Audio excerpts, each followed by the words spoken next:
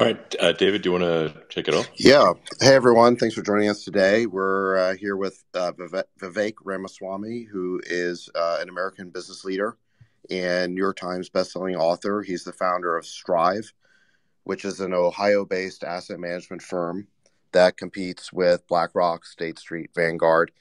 Uh, before that, he founded and led a successful biotech company called Roivant Sciences, where he oversaw the development of new drugs that went on to become FDA approved.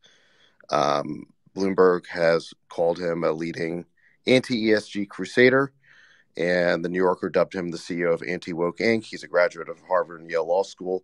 He is the son of two immigrants. He's married to Apoorva, who is a throat surgeon, and he's the father of two sons, age three and one. So, with that, Vivek, uh, thanks for joining us today. Yeah, it's good to be on, guys. I'm looking forward to uh, more of a conversation than just a pre-scripted speech here. But David, can you hear me pretty well? Yeah, yeah, we can hear you. Yep. Sweet, and Elon, it's sure. good to good to finally meet you, man. I uh, uh yeah yeah I look forward to meeting yeah person. looking forward um, to this yeah yeah it's good uh, uh, but uh, I mean that, that, was that was a great intro by by David and I have to say I agree with all those everything that was articulated um, and congratulations on everything uh, you, you have achieved so far and um, I think um, you know, I, I actually, I think people would just like to know more, you know, more about you and and um, yeah, I guess whatever you'd like to say. Yeah, uh, sounds good. We'll we'll uh, yeah. kick this off. Most people have barely heard of me, and uh, and this presidential race is uh, is just getting warmed up. But yeah, my parents came to this country 40 years ago with almost no money, and I've gone on to found multi-billion dollar companies. Not not Elon Musk level yet, but uh, but nonetheless, companies that have you know impacted people's lives in a positive way. And I did it while getting married, following my faith in God, and bringing two sons into this world who we raise today. And I am genuinely worried that that American dream will not exist for my two sons and their generation unless we do something about it. I think for a long yeah. time we've been running from something. And the reason I entered this race. I did not expect to be running for president, but I saw a field, certainly on the Republican side, forming where I saw a lot of people who were running from something. I didn't see anybody who was running to something. And I think that's what we yeah, need to no, do. I, I think you, well, I think you've got a really uh, sort of a point there in that, like, I think there's this, there's actually sometimes quite a, a, uh, a pessimism about the future. Um, and and and with people like, well, I think this to some degree, like, well, what should we do? Mm-hmm. Like, what is the good future?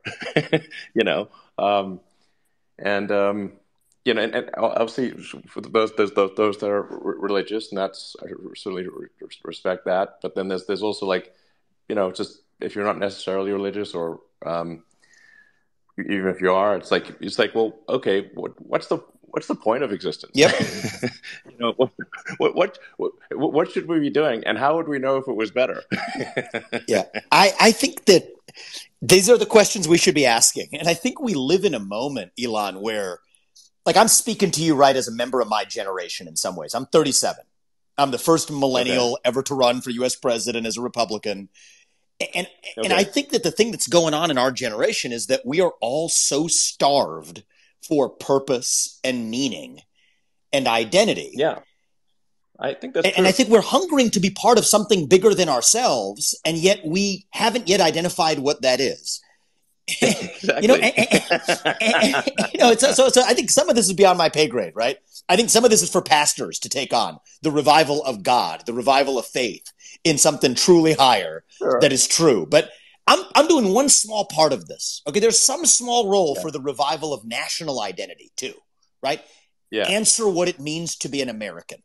That's something that sure. you ask people, you know, my age or younger, what does it mean to be an American? You get a deer in the headlights response. Like, whoa, what was that? what did you just ask me? And I think if we fill even that vacuum of national identity with a clear answer to that question. That's what it means to be a citizen of this nation. And if it's a different nation, so be it. That nation has a clear answer to their question too. But I'm worried about this country. That fills part of that vacuum, that yeah. void. And that's what I think that's that's what I'm that's what gets me going. and I think that's part of the answer to the question.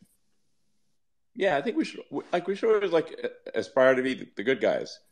You know. Mm-hmm. Well, what do you mean by that? Yeah. I, I, don't know. I mean, just you know, like I kind of I kind of you know grew up watching a lot of American movies and TVs and reading comics and whatnot, and um, you know, I, I actually sort of the I, I like the like there was a morality to America that I think is actually quite good. Like like this notion that there is actually good. Mm-hmm. There is not. It's not. It's, it's not just all relative. Uh, you know, sort of a, a relative morality that there is good in the good in the absolute, um, and that and that we you know we we should try strive to be you know, a, a, a good civilization, a good a good people that you know where we, we treat each other well and uh, work hard and, and you know build great new things. And um, that seems like you know what we should be be trying to do. And and, and, and just trying to understand more about the, the, the nature of the universe and like our place in it and you know where are we today?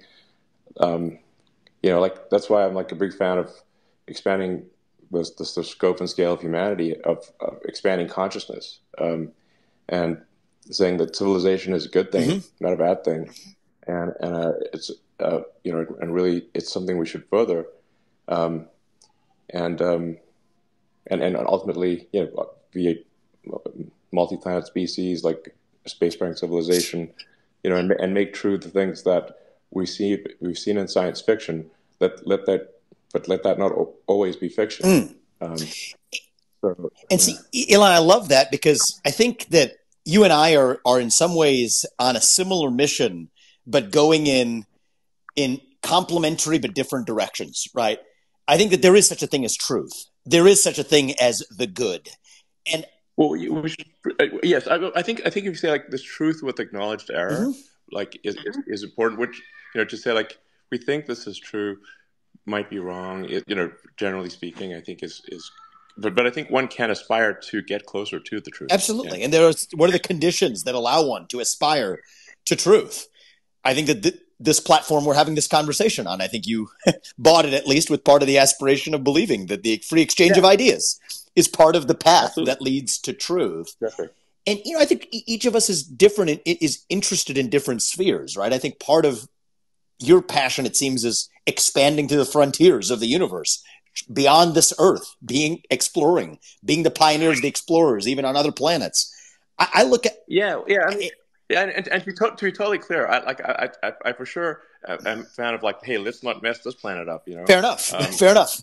you know, so it's, it's, not like you know, it's, it's, I'm like, hey, let's escape to another planet. I'm like, let's just make sure things are cool on Earth. But then, like, hey, I, it'd be nice if, if like Star Trek and and you know was real one day. Yeah. You know, and, you know, like the cool science fiction. I think that'd be and, I think that'd be phenomenal. And and I think that for me, my passion is all right, leaving those to again a higher pay grade than mine. But I think part of the truth we can rediscover, part of what is good is the revival of things like individual self worth on this planet a sense of yeah, grounding sure. in family, a sense of grounding in the nation. And I think that all of this too is yeah. even even long before we get to Mars or long before we get to another frontier, as I think would be great for expanding the frontier of human achievement and exploration. There's exploration within, right? I think we're like, yeah. you know, we the analogy I sometimes uses we're like, uh, you know, we're like a bunch of blind bats flying around in a cave trying to figure out where we are, right? and, and, that cave could be the universe, and that cave could just be a cave on this earth. But you know, we send out sonar signals, and they bounce yeah. back, and they say, "Hey, this is where I am because I'm blind. I can't really see where I am." And so, what are those things that bounces off of? Could be family. Could be my grounding in the fact that I'm a citizen of this nation. That is true. That means something to me. Could be my faith that I believe in God. That you know, sure. I'm, I'm a person of this faith. I'm an individual. I worked hard. I created something. Could be the company that I work for or that I created. That bounces back and yeah. tells me this is where I am. And so I think there's a lot of that to do at home. And I just think that, you know, our pursuits are in some ways complementary, Elon, but I think that we live in a moment where a lot of those other pillars right here at home on earth, even in the United States of America, even in central Iowa, where I am today, those pillars have disappeared. And I think part of what's okay. happening is we send out these sonar signals and then nothing comes back and we're lost. And that's where I think we are. And so my mission is to rebuild some of those basics. Okay. Well, I mean, I think uh, we should definitely not not lose like pride in America. Like we should be proud to be American, and I, I certainly am. And uh, you know, um, you know, there's, there's, sometimes it feels like there's like quite a, a weird like anti-American self-destructive element, especially in like the uh, you know elite circles within the U.S., which seems kind of crazy to me. Um, and at some of the colleges and high schools, they like in a lot of cases they're like teaching you it's bad to be an American. I'm like, this is insane. Mm-hmm. Um, you know, it's like it's not true. well, in, in San Francisco, they ripped Abraham Lincoln's name off one of the high schools. This is insane. Really crazy, you know. And there were other there are other examples where George Washington's statue is getting ripped down. Right, and, and I think this is just a symptom of you know, we, we say we hate America, but it's really a form of self hatred, even at the individual level. Yeah. right? I we agree. want to flog ourselves for success. It's the same mentality for why kids yeah. in school, a kid who graduates at the top of his class in high school in most public schools in this country has to hide his achievement because achievement isn't cool. Well, America's about achievement in many ways, and, and so America's not yeah. cool. So, so I think it's a symptom of the loss of self worth. And it's not an easy thing to ask how we revive that, right? I think we observe the problem, and that part's in some ways easy to do. I think what we do to build up that self confidence that we've lost, whether it's the self confidence to start a small business or the self confidence to set out to Mars, or at least the self confidence to say, I'm a citizen of the nation founded on the most admirable ideals in human history, and I'm going to be proud of that. That ain't going to be easy, but I think that is the challenge that, you know, whoever leads this country, and I'm aiming to be that person next, I think in the next 20 years, if we don't get this right, I don't think we're going to have a country of the same kind that we will be talking about American exceptionalism anymore. And I think that will be not just a loss for the United States of America, I think that will be a loss for the world because part of America's role in the world is to provide an example of what is possible when you have a country founded on those ideals. And once you start apologizing for those ideals, I think that's going to be a permanent loss for history. And so you know, I, I have thoughts on this. Maybe you have thoughts on this too, but identifying the problem, I think we're all seeing it with clear eyes. What we do about it, I think, is going to be a uh, is a tougher question, and I have my views on it. But you know, Elon, maybe you do too. Yeah, I, yeah. Stop this nonsense immediately, and and and and uh, castigate the educational system for teaching kids such nonsense. Um, you know, like what the hell's going on? And like the, the donors to to these universities uh, and uh, you know high schools and whatnot should be like rescinding their donations and saying, "What the hell are you guys doing?" Yeah, that's um, a start. You know, a big part of this is the, send, the federal government. Stop sending. Federal yeah, government's a big problem those, too. I mean, so, so, you talk about those local yeah. schools. What what the heck are they doing? That comes from the U.S. Department of Education. So it's it's a little bit invisible yeah. to a lot of people. It's not just the school boards that parents are happily now engaged in. The US government says you don't get money from the federal government, which covers about 10% of public school budgets in this country, unless you adopt these toxic, self-hating, you know, racial and gender ideologies, but it's broad, broadly more of a national self-loathing ideology. And I think that Okay. Like many things, this is solvable. So, we're basically pay, pay, we're paying people to hate America. Yes, we are. Yes, we are, and and I think that's solvable. That piece of it's solvable. It yeah. I mean, this is like we're just punching ourselves in the face here. I suggest we stop punching ourselves in the face. You know, and, and, and this gets back to religion, Elon. You want to know why? Because you know, it's it's like a self flogging, right? It's like wearing a hair shirt, right? This is a this is yeah. a sort of religious practice. People, you know, engage in. This is an interesting feature of exist in, in certain Christian tradition, exist in certain Hindu traditions, exist in basically every major tradition in the world. Is there's some sect that does engage in a sort form of self flogging, and so I think what's happening here is we have a group of people in our country right now who are again hungry to be part of something bigger than themselves, have a hole the size yeah, of God in their heart, and traditional religion or God doesn't fill it. They engage in a different kind of self flogging instead.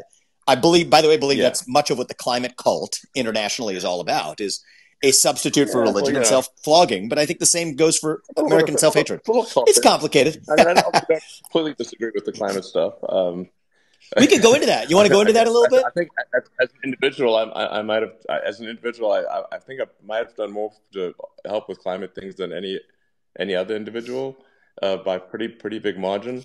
And so sometimes people like will bizarrely think I'm like right wing or something. I'm like, uh, I've been like literally blood pouring blood, sweat, and tears next level into saving the environment. What are you talking about? This is so insane.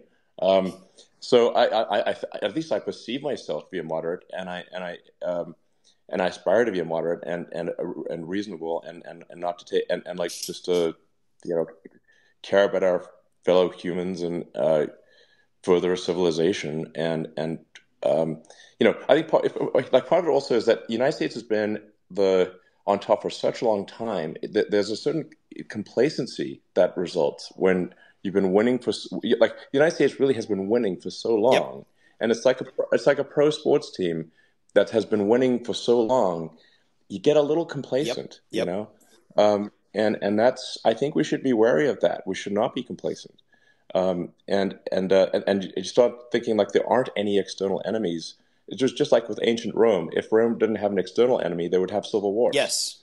Um, and so, in the absence of an, you know, if you just perceive yourself to be essentially invulnerable, then you, it become internal conflict is is a natural consequence of that because there are no external enemies. Well, look, I, I think uh, but, that, but, I think but in reality, there, there, there sort of are, or at least there are external competitors. Mm-hmm. You know, um, and, and, and we're obviously facing a huge a, a huge transition that's ha- that's that's happening in the world today is, is the obviously the rise of China and the fact that uh, the Chinese economy is probably going to be two to three times the size of the U.S. economy. This is really a big change um, because for as long as anyone's been alive, the United States has had the biggest economy in the world. Um, but if, if, if, in the case of China, you simply said uh, assume a GDP per capita uh, efficiency relative to the U.S. of 70 percent, that would be roughly equivalent to a billion people in the U.S. or three times our current population. So the probability is like really, uh, China, China's going to we, we, will be in, in, a, in, a, in a rather odd situation that no one actually can even remember where there is an, an economy twice our size. Yeah, so um, I, I, think that that's correct on the trajectories. I think there's a couple points in there, Elon, really important points that uh, that are actually encouraging for the United States. Oddly enough, one was your point about the fact that our success bred our entitlement, right? Success, it's inevitable. It's inevitable. This is just history, right? Success breeds entitlement. Yes, yes. And it's normal. It's a human thing. It's a human thing. And, and, and then entitlement breeds laziness. And then, of course, vict, victimhood culture follows because victimhood vindicates laziness. And you saw this in Rome, too. And so I, I appreciate the, the ancient Roman Empire analogy. Actually, my second book was all about exploring whether or not we are at the equivalent of the end of the Roman Empire. Yeah. And which we should be worried about. I think we should be talking way. about it. We should be talking about it. So, so yeah. I, I had took a dark turn during that book, uh, midway through Nation of Victims, and and halfway through the book, I concluded that actually we should be so lucky as to be Rome, because Rome lasted a couple thousand years, yeah. right? If you include the second half, and you know yeah. we might be more like Carthage, which only lasted a few hundred. Yeah. But I, well, actually, Carthage depends for a long, quite a long time, but, but definitely uh, got got short circuited there with. Yes, it did. It did, and, and and and so and so I think that that was one version of it. But actually, my more my more careful study of it was that we talk about the rise and fall of the Roman Empire. It turns out yeah. there were many rises and many falls. Actually, yeah, sure. there was no one rise yeah. and one fall, and I kind of see the rise of this American experiment the same way. I think there will be many rises and there will be many falls, but I don't think we're done with this ball game yet. I think we are still can we still can be in our ascent. And so just the yeah, arithmetic of it, Elon, yeah. you're right. If, if, you extrapolate the existing GDP growth rate curves and linearly play them out on a compounding rate, it's exactly what you said in, for China in relation to the US. That is a big part of the reason why leading the country as US president, one of the core things I've prioritized is actually making GDP growth a metric that we actually care about in this country. And sure. you know, in some ways, I'd rather measure economic prosperity than some other metric that we've chosen. You know, carbon emissions or whatever the metric of the day may be. Let's actually choose the one that better tracks the prosperity and, and might of our country over the next 50 years. And I think it's actually going to be more achievable than we've made it out to be. Well, I mean, we want to make sure that, that the United States remains a, a very much a meritocracy. Um, that that is a function of someone's skill and hard work that results in their success, and and that we do not have any sort of an entrenched, um, you know, uh, rich class, effectively. Um, so, this is very important um, because otherwise results in sort of ossification of society. Um, so we want to remain mer- uh, uh, really merit focused. We want to obviously, um, I think, try to attract the people from around the world who are also merit focused and wish to join the con- country, um, and we should make it much easier for them to join. Mm-hmm. I agree um, with that. I actually fully agree with that, and yeah. that's one of the things where I think the Republican Party needs to define where we actually stand. There is an anti-legal immigration current that you know, which is which which, I, which I'm going to be on the debate stage in a month, and this yeah. is going to be something that if anybody has uh, any any qualms with this, uh, you know, I think I'm going to have a real problem with that because merit based immigration yeah. is one of the fixes to economic growth in this country. But you know, yeah. merit is the key, I, though. I, really, in, in, fact, I, I think I, I, want to say it in a way that I think people, like the general, like people, everyone can understand, which is like imagine like you're, you're, you're pro, like America's a pro sports team. We want to win the championship. We want to keep winning the championship and there's some there's some ace players on another team, and they really want to join our team. And now we can make them fight us, or we can have them join our team and just crush. Mm-hmm. And I think just if ace players want to join our team, please do. that is the way to continue success. Exactly. Um, and, and, and, welcome them and not, and not have all these ridiculous obstacles. Well, and I think part of the reason you have that reaction is to play your analogy. Instead, what we have is somebody who doesn't even sign up for the team just gets to show up on the field. And that's what we have yeah. now, which creates a backlash from the existing team members to say we don't want any more. Sure. When in fact, what we should be saying is we want the best ones who come and follow the process for actually training and joining the team. And that's what I think merit based legal immigration ought to be about. But, you know, I, I, I do think that this is achievable, right? I, I, think that if you view it, even if you play the Roman analogy, right, just to think about this in the yeah. big arc of history, if you count the eastern half, it's 2,000 years. And in yeah. that case, here's what I think is going on is as a nation, we're not at the end of the Roman Empire.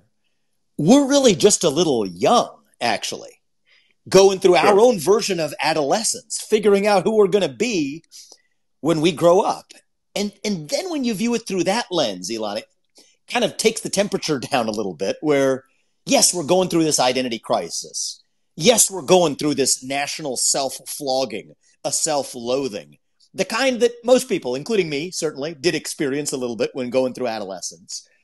But you get to the other side of it stronger, if you actually get there, to our national adulthood. And so I'd like to think that's where we are, not in decline, but in our ascent. Maybe not even at base camp yet on our way to the mountaintop. Definitely take that attitude. I agree. That's like totally the right attitude to have. Like I, I hate this. I just know this defeatist BS. That's right. That they're teaching yeah. kids. That needs to stop. Um, that's why I'm saying like, you know, funders should revoke funding from schools that teach this nonsense, and a lot of it is happening.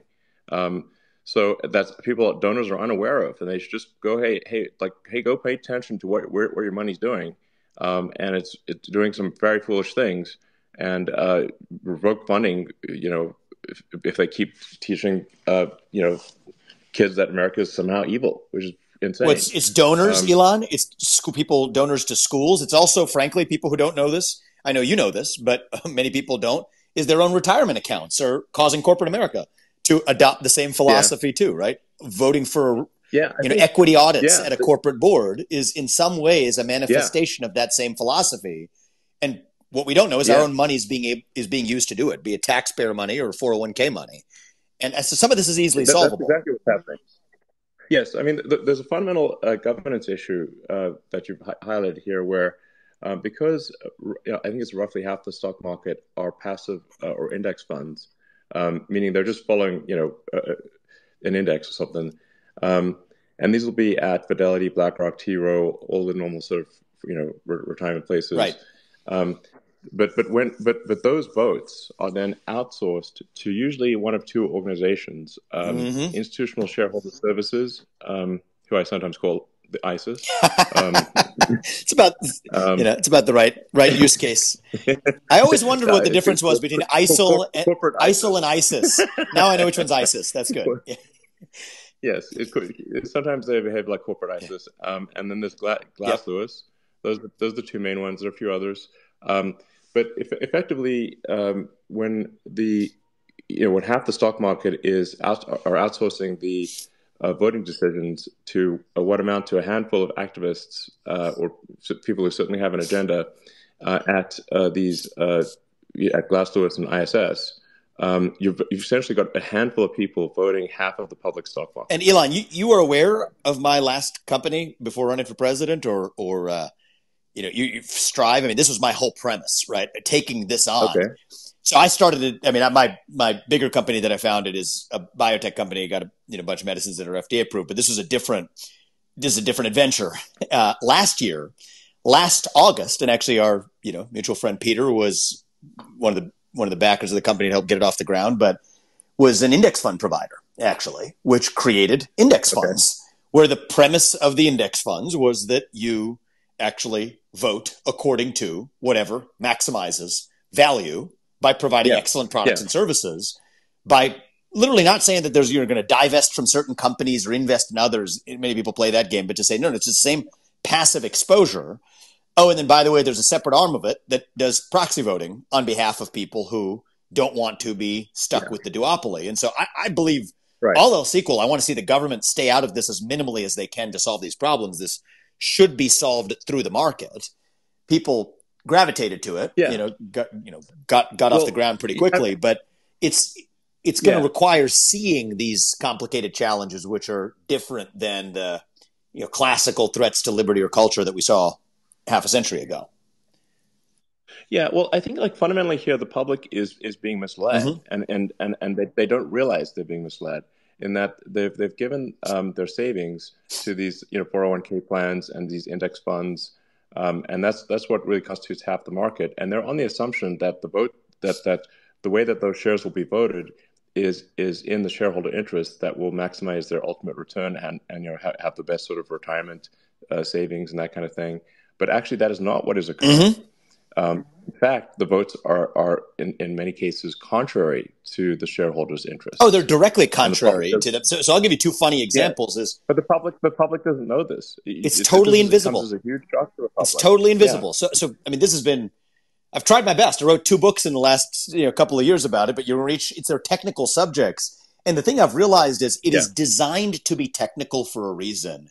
And that says a lot about why we see technocratic abbreviations like ESG. It sounds boring, you know, CBDC, yeah. whatever it is.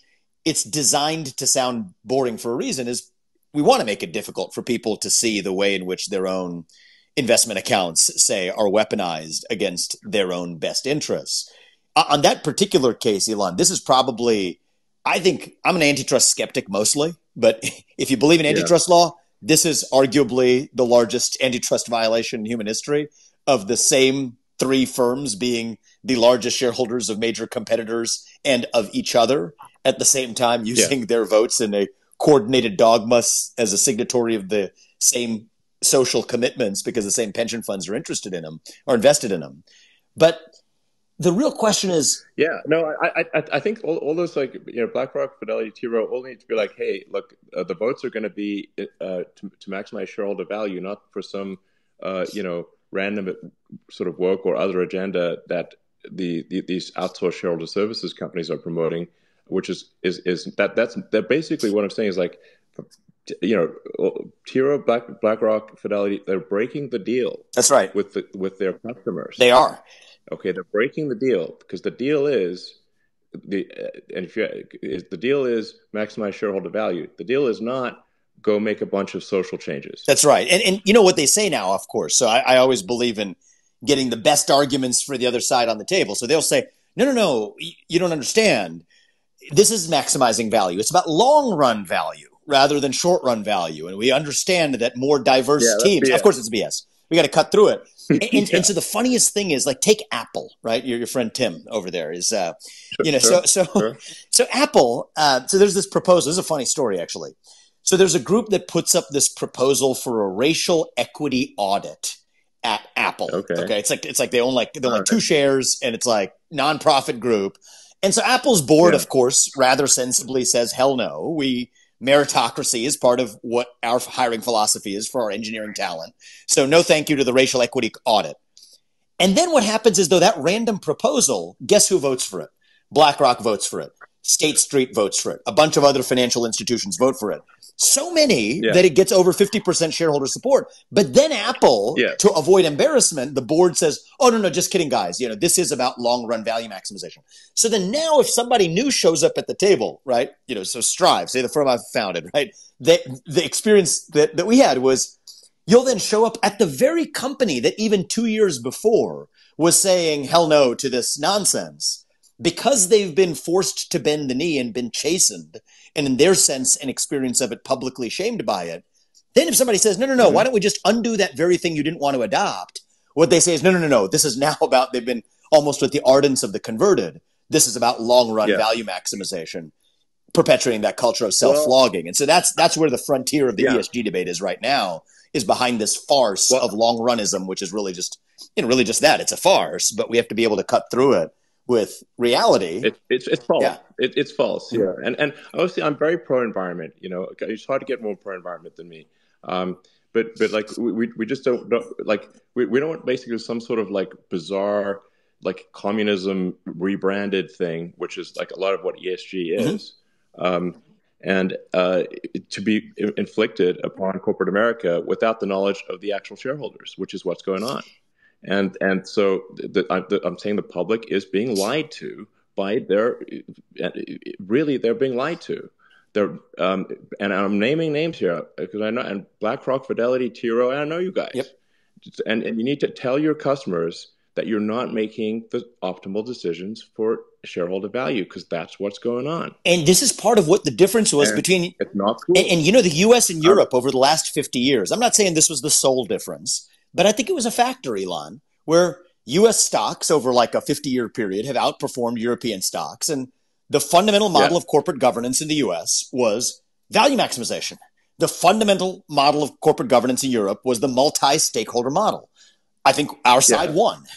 Why on earth now, to play your yeah. basketball team analogy, would the basketball team adopt the strategy of the losing team to adopt that as its own if it's playing the next quarter of the game?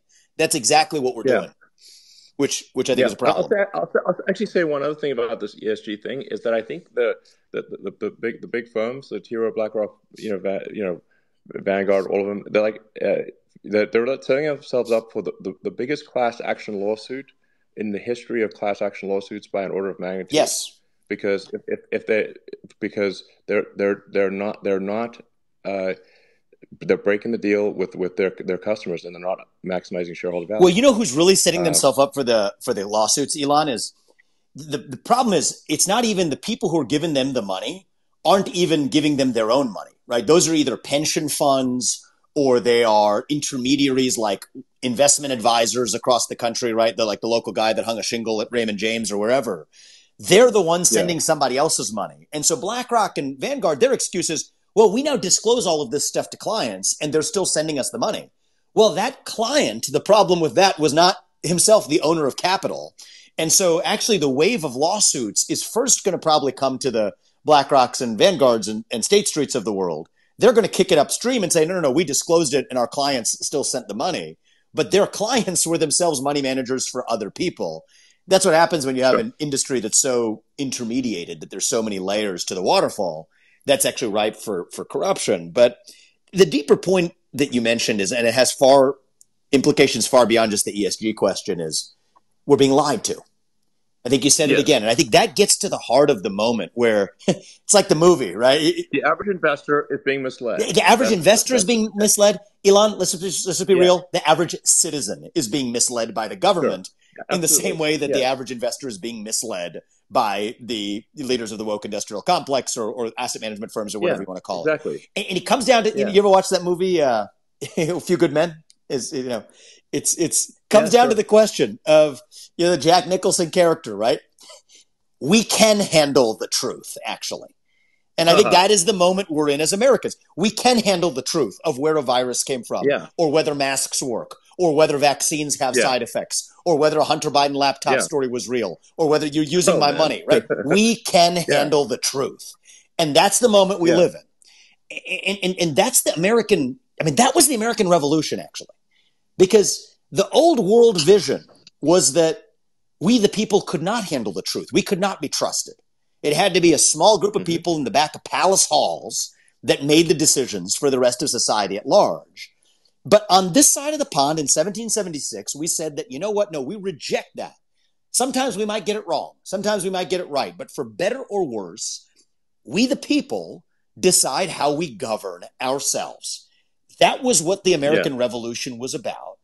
And, and unlike yeah. you, Elon, I'm not a moderate. Actually, I don't like those labels. I don't. I don't. I, I don't use those labels. But I'm an because the American sure. ideals are kind of extreme, actually. Right? Free free speech. I don't think you're a moderate either. But but I don't think that. I don't think that. I don't view this as a partisan exercise. I'm, my whole point is the American sure. ideals are themselves rather extreme ideals. Right? free speech, self governance, the fact that we, the people, can handle the truth that's extreme for most of human history. It was done the other way for most of human history. But that extreme set of ideals, that is what unites us. That is what makes us American. That is what makes us great. That is what makes America itself. And in some ways, I think that's actually how I think we're more likely, Elon, to get to national unity in this country is actually okay. not by necessarily saying we're going to you know, compromise at the 50 yard line, hold hands and sing kumbaya and compromise. I actually think it is by being, in some measure, uncompromising about the ideals that unite us. And yes, those are extreme okay. ideals, but but that's cool. That's America. That's us. And, and I think that's the moment we live in is do we want incremental reform, which a lot of politicians are claiming to offer, including in this race that I'm running in, a Republican primary? or, or in some sense, do you want the American Revolution, the ideals of the American Revolution? And I, yeah. I stand on the side of the American Revolution, and I think that's actually our last best chance of uniting and rediscovering who we are, and we should be proud of it. I agree. So, it's um, it's it's important to not fall into the trap of thinking that all these solutions are going to come from government, right? I mean, the things you're doing, working on on a given day, yeah. right? What you're doing with X right now. I mean, generally speaking, I think we want the government percentage of the economy to be smaller rather than larger, uh, just because the, the, the, government is, is really a corporation in the limit. Um, that, so sometimes people think the government is different from a corporation, but it's really just the government is a corporation in the limit. It is the most corporation corporation, um, and it's it's got a monopoly on violence.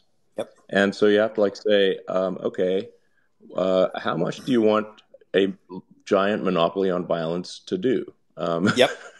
you know, not that much, less uh, generally, mm-hmm. not more. Um, and um, you know, we, have you know shown over and over again that um, the power of free enterprise and comp- and competition. We do need to make sure that there's good competition in, in these markets. Competition, uh, you know, makes companies honest and, and makes them work harder to serve their customers, which is that's what you know makes people happy mm-hmm. and makes for a better world. Um, you know, if you you wouldn't want to have just like one car company, you know, no. one airline. No. Um, you know, you want you want them to compete, and and um, you know, and, and that that's what makes things better, and and have that across the board. So whenever something moves moves to, to the government, the important like then it's like saying, okay, now we've now got rid of competition, and and it, the, the feedback loop for improvement is is very small, and and um, you know, so the, the same person in government or in, in, in private industry, they're going to be is far more productive in private industry. Um, yep. So we, we just want to make sure our, our personnel allocation is towards that which is most productive, yields the best standard of living for the people. And I'm, by the way, I'm totally down to take questions. I'm actually a very bad co-host of a. This is actually the first spaces that I have been a host of. So that's actually okay. actually uh, I don't know how to take it, but if you if, well, you guys the, you or Sacks want to take questions, yeah, you know, go for it. So well, I've just been trying to stay out of it. And let talk. Um, well, we had a good one, Sacks, on All In. I like that, yeah, and, and, actually, we didn't. We, we we left off on Ukraine last when you and I spoke, but well, uh, but I'm happy of, to go wherever you guys want. Yeah, and by the way, everyone should check out the the last pod that we did, the the All In pod um, we we did two hours with Vivek uh, about a week and a half ago. So um, everyone should check that out. But speaking of truths the public can't handle, I'm seeing on Twitter reported by Michael Tracey and Glenn Greenwald retweeted him that um, the Senate just voted down having an accountant for Ukraine. You know, they call him the inspector general. Uh, Why? That's basically a fancy Why? term for an account. Exactly. We can handle uh, the truth. We can handle the truth that our money was siphoned to play a bunch of Ukrainian corrupt people, including the including the government bills. A lot of people Elon, in terms of our money, not knowing how yeah. our money is being used, here's another one. People in the US don't know this, but our taxpayer money is literally paying the salaries of the people who work for the Ukrainian government. And if okay. we're going to do it, let's at least see it, right? Let's at least yeah. be able to account for it and see the dollars. Yeah, but we should, I, we should, yeah, I mean, like I, I think I believe in supporting Ukraine, but we're just, yeah, we, we want to know that the money is actually going to help. So why, Ukraine. why, Elon? And, and Can I ask you that? It's not. We, we just want to make sure: are, are, we enriching some a handful of oligarchs, or are we yep. actually helping the people of Ukraine?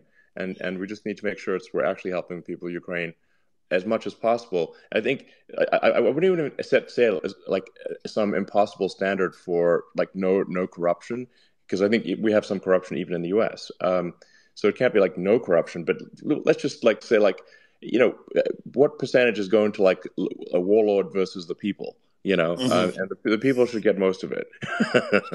well, well, speaking of warlords, though, and, and I and I would love to hear your perspective, Elon, which I you know respect, but I, I haven't heard it on this issue on why you think it's important for us to be there. I, you talk about the word warlords.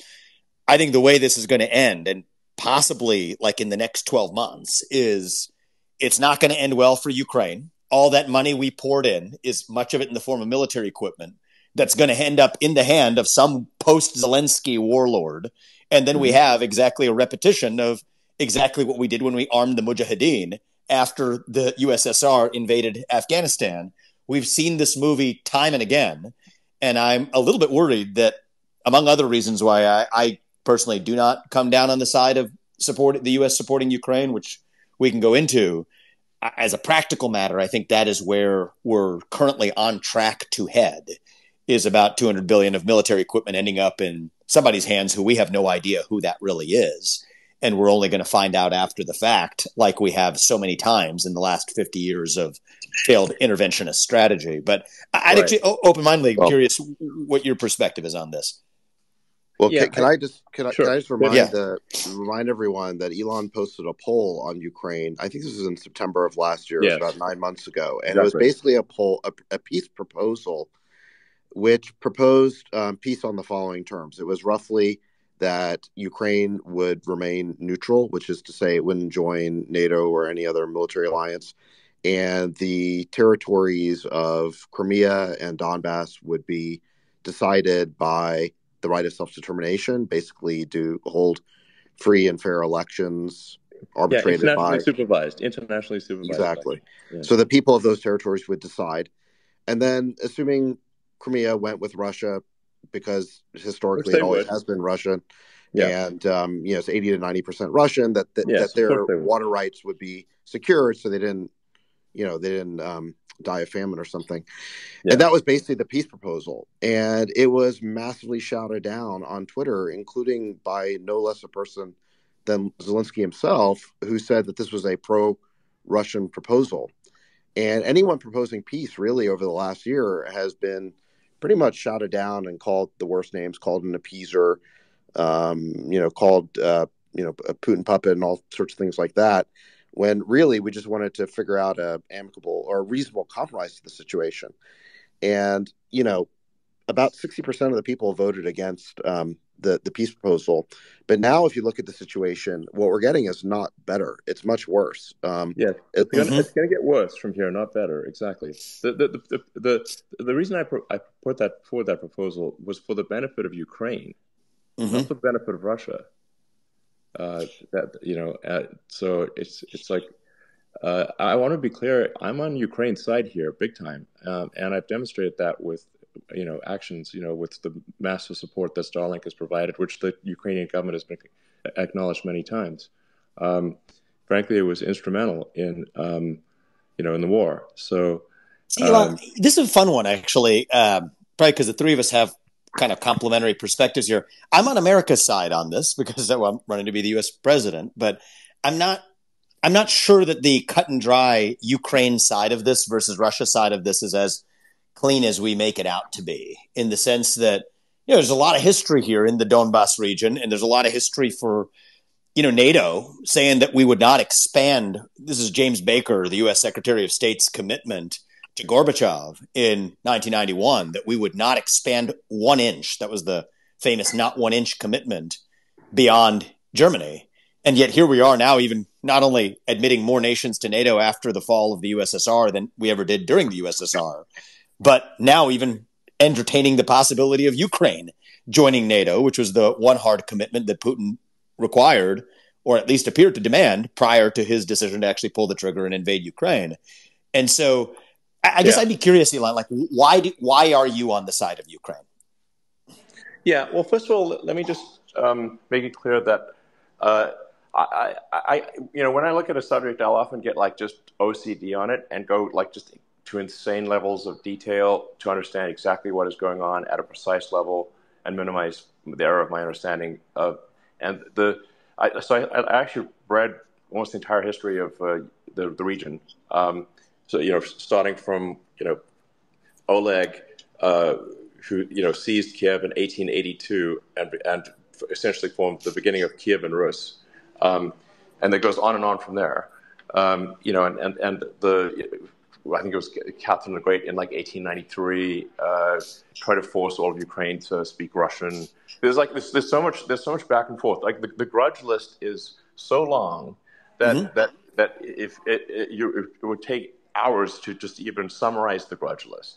So the, the, the thing is that people in Ukraine and in and Russia can find a million reasons to hate the other side um, if you if just look at the history. So uh, this is why you know the Christian principle of turn the other cheek is a very wise one because if you do not ultimately forgive your enemy, you're you're you're stuck in a cycle of retribution forever.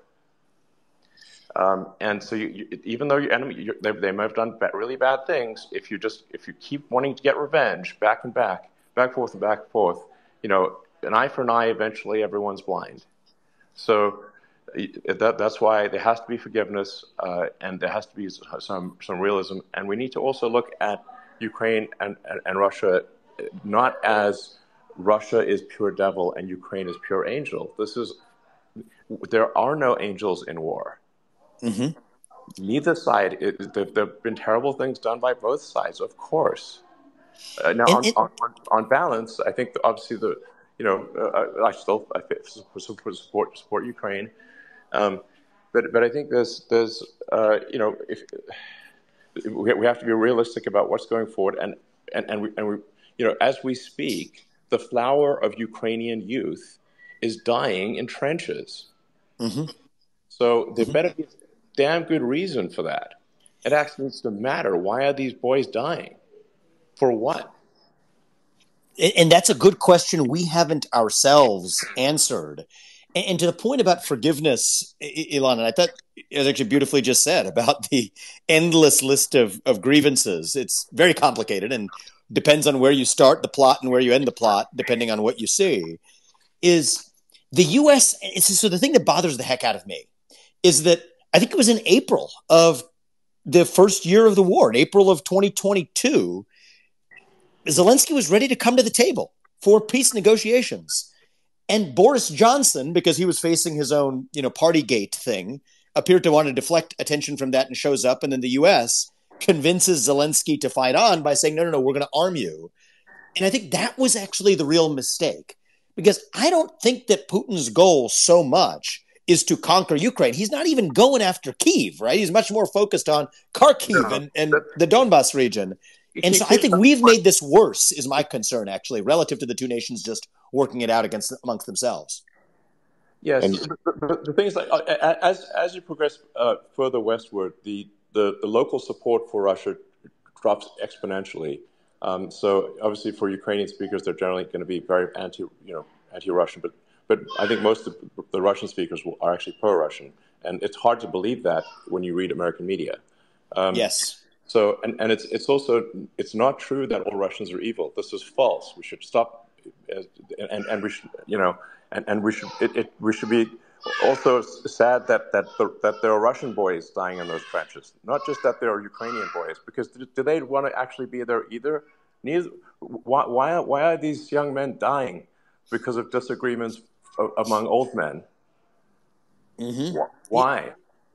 And and and and there's in, in, in trench warfare where only a few miles are exchanged. What at what price? Uh, how many lives per mile ultimately mm-hmm. is it worth? Mm-hmm. And and I think that the reality is for, for the U.S. I mean, Russia has more of a national interest at stake here than the U.S. does. China is also coming to Russia's aid. That there's no version of this that is, you know, I'm not looking at this from a view from nowhere. I'm looking at this from a U.S. view because that's the hat I wear here.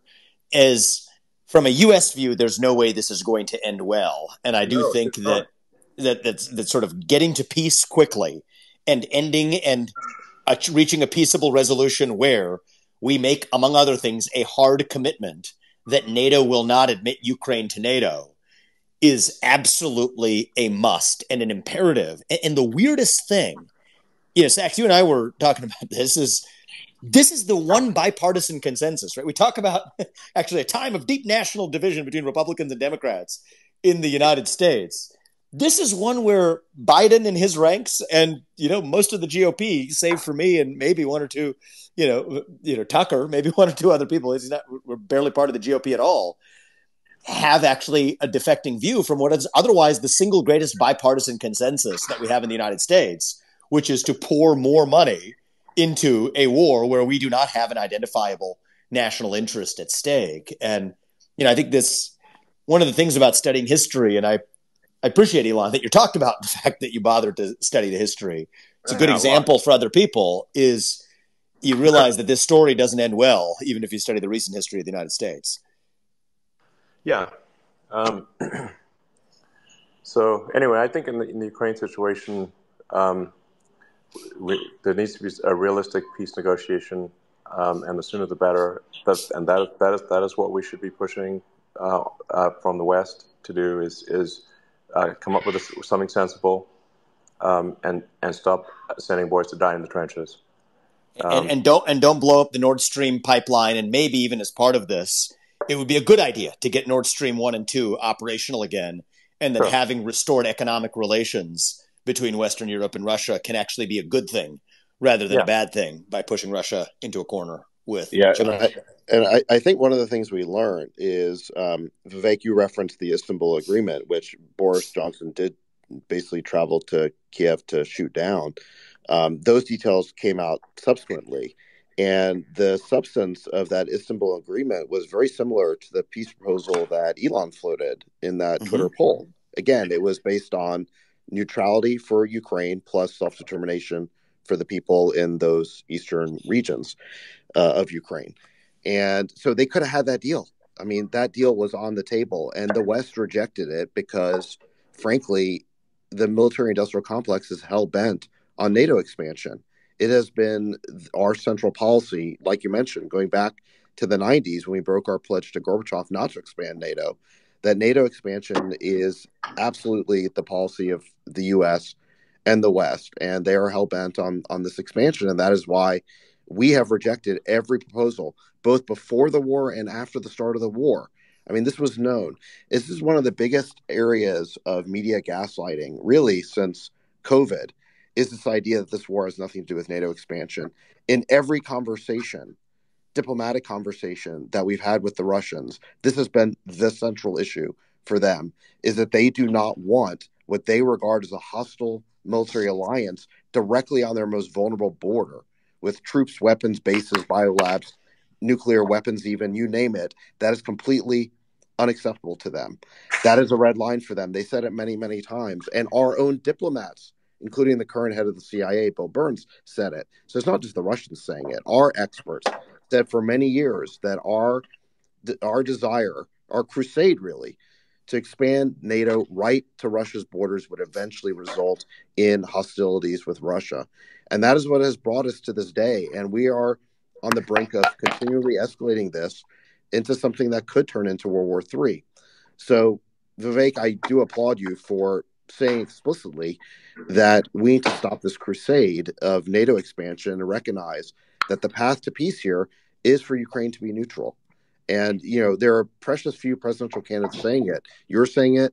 Uh, Robert F. Kennedy Jr. is saying it. Um, I think you guys might be the only two. I think that's it. Explicitly said that. That's yeah. it. That's the whole ball game. So I, I really applaud you for that. And we have to stop the gaslighting on this subject. This was known. It was said by experts for decades. And now we're pretending like NATO has nothing to do with this conflict. It really does. And you just saw that at Vilnius again. So, you know, we need to get the truth out there that that is a major component of the the root of this this conflict and this war and therefore it's going to be an essential component to the solution and we're never going to have peace without it. It's there's an interesting deeper uh, line to connect because I think this relates to a, a, separate issue here that we all three of us care about. Certainly, is free speech in this country, and it's not just the threats to free speech from the government. And you know, I loved the Twitter files. And by the way, Elon and I have said that when I'm in the White House, or if I you know fortunately get there in a year and a half or whatever, we'll do the state action files, which yeah. is the other side of this, which is sure. anytime a government official has pressured any company not just Twitter, any company in the last five years at least, we will yeah. publish it at least for the public to see. Yeah. But but but it's not just the governmental censorship; it's sort of this cultural censorship on Ukraine. When when I say the things that Sacks just said, right, which is literally talking about NATO expansionism. and what are our objectives here? To expand NATO in violation of prior commitments we made. The, the feel that I get, right, just just just the you know the ethos of it. It feels a lot like when those of us who said it said that the virus likely originated in a lab in Wuhan yeah. in mid 2020. There's something about it that it's sort of beyond the pale to accept.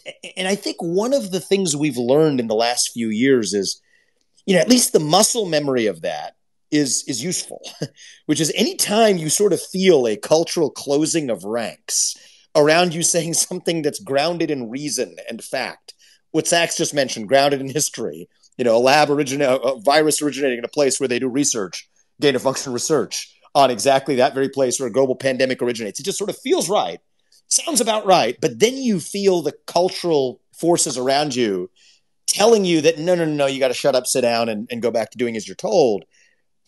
I think that's those are actually some of the most important questions for us to actually double and triple click on and actually get to the bottom of. It, and in some ways, you know, there's many issues around the world that the U.S. Yeah. I think has, has, views on, but that's part of what's drawn me to this issue even yeah. more is the cultural closing of ranks on this question.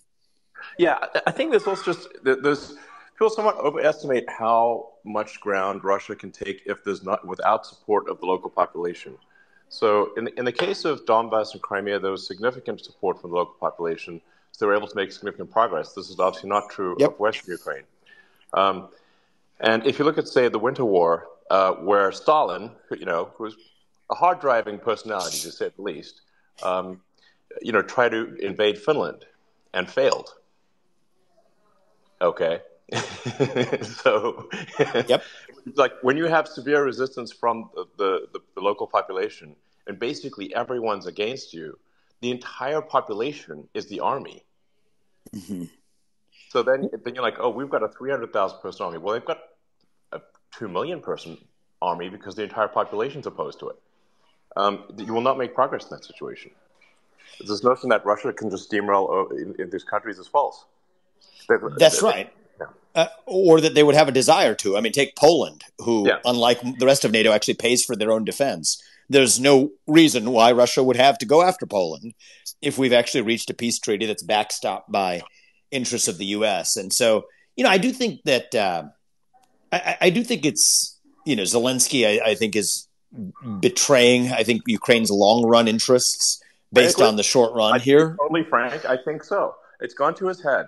You know, uh, you know he's he's been faded too many times. Like if you keep telling someone they're awesome 17 times a day, it's it's you know it's gone to his head. To be totally frank, um, like so uh, you know and and. Uh, it, and we're, so we're going to stop that, and we're going to say like, look, your people are dying. You know, it's, it's, as you point out, it's not the long. It's really not a long term smart thing those people, those, those kids are never coming back. You know, so yeah. uh, and and that we're dying for a mile of territory. Like this is insane.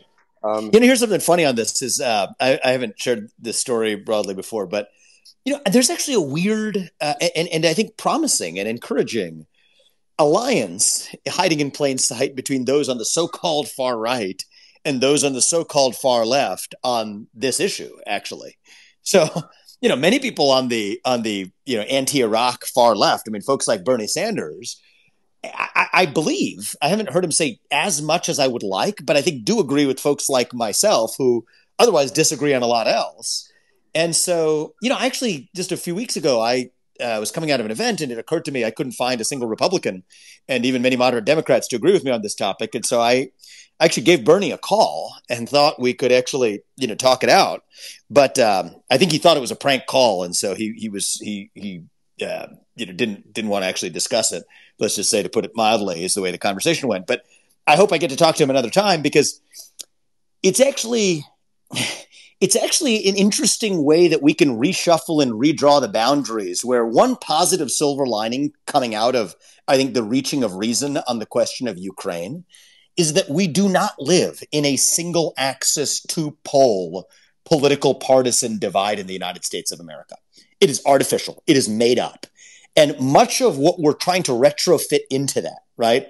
The struggle between the managerial class and the citizen, the, even the questions of foreign policy about which priorities the U.S. should and should not actually risk our military equipment or our young men and women to defend. These do not track traditional Republican and Democrat boundaries. And I think that that also, in the, in the sense of taking a step back, that should actually be hopeful for us as a country if we have the courage to actually step back and see it's not about black versus white or red versus blue, if we're able to actually have a reasoned debate in the open about what are, I think, the most difficult questions of our time. And so I am personally hopeful that that is one of the side effects, so one of the net positive side effects to come out of our yet to be had open debate as a country on what actually we should do in Ukraine is that it calls the bluff on the otherwise artificial retrofitted model of right versus left, Republican versus Democrat, which I think in large measure doesn't exist. It's antiquated. And, you know, hopefully this is one of those issues that helps us smoke that out. So, Sacks, we already went, went through the hour. Do you want to take up questions or do you want to, uh, we, we can rock and roll and do this again another time too? I'm down to I got um, another well, half yeah, hour. if there's folks out there. Um, I'm good to the bottom of the hour. Yeah. Yeah. Okay. Great. Well, let's see. Um, I know Richard Hanania has got a book on woke coming out. It's called "The Origins of Woke." And um, Richard, you have a question on? yeah, area? sure. Uh, hey, David. Uh, hey, Vivek. Uh, both of you guys. I appreciate you guys are both uh, blurb on the blurbs on the, giving me blurbs on the book. Um, and hey, hey, Elon. It's nice to you know, it's nice to talk to you. Um, Vivek, man, I've been so impressed with you. I mean, we we've been talking, you know, from before you ran, and when you you know said you were going to run, I was you know skeptical as someone who's uh, knows a little bit of political science, knows a little bit about the history. Uh, not that I didn't think you had a great personality and potentially a great message, um, but it's just it's always a long shot. I mean, the president, you know, you weren't you know you weren't you weren't on training wheels. You weren't starting out with something you know something easy. You were going straight for the big job and you've you've impressed me. I mean, the message is you know the the positive sort of culture war message. Um, the you know the idea that there's not just a culture war, but there's like some kind of excellence we could be moving towards. It's really hit with people, and I just want to say you know you've been you know you've really really impressed me, and I'm glad to see what's been going on. Um, and thank you, man. As, yeah, absolutely. Um, and thank you, uh, thank you also for saying, you know, mentioning how poor Europe is relative to the U.S. I think that's a point that doesn't get made uh, often enough. You just give people the numbers uh, on Twitter, and they don't like it very much. But I like, you know, I like the fact that you just, you know, you're putting it out there that yeah, we, um, you know, this experiment has been tried. The big government, you know, fifty percent of GDP government spending, uh, large tax rates uh, uh, uh, large la- labor regulations. Um, those are a problem. They, they've tried it and it hasn't worked. So for all our problems, I'll take uh, the U.S. Any day. Um, and I appreciate the Ukraine discussion. I just wanted to ask about, you know, my uh, the you've you've talked about the civil rights law, and you've talked about sort of the uh, the importance of getting back to merit.